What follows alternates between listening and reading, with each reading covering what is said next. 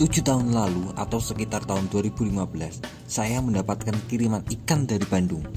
Jenisnya macam-macam, di antaranya beni kumon, asagi, siro, dan lain-lain. Size masih kecil-kecil, sekitar 10-15 cm lah. Kala itu, namun semuanya F1. F1 apa saya lupa bloodline-nya. Uh, ya, nama fannya Jepang lah, Jepang-Jepang gitu lupa saya ya pokoknya ikan turunan Jepangan deh gitu. Sebagai breeder spesialis Kohaku yang merupakan strike produk andalannya adalah Kohaku.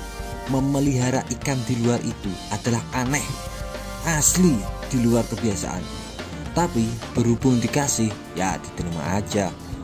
Kita menghargai kok Ntar dikira sombong dan gak mendukung perkembangan koi Indonesia yang sangat pesat dengan kontes yang seminggu sekali itu ada.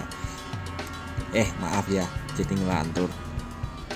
Dibalik lagi, ikan itu akhirnya disimpan atau dikip deh. Sampai gak kerasa udah 50 cm up. Udah pada hamil aja tuh ikan. Kurang lebih satu tahun tuh kepingnya. Cepat kan? Nah, itulah kelebihannya. Di sini kejar 40-45 cm bisa tuh satu tahun aja nyampe.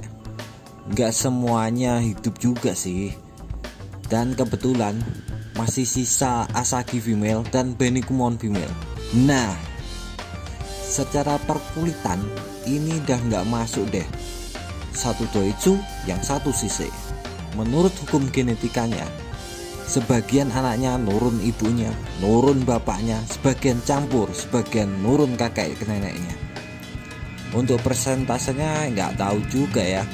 Maklum bidir kampung, bidir desa, ilmunya coba-coba terus dan akhirnya dipairing deh cross skin variety best breeding. Hasilnya kita sambung di video berikutnya.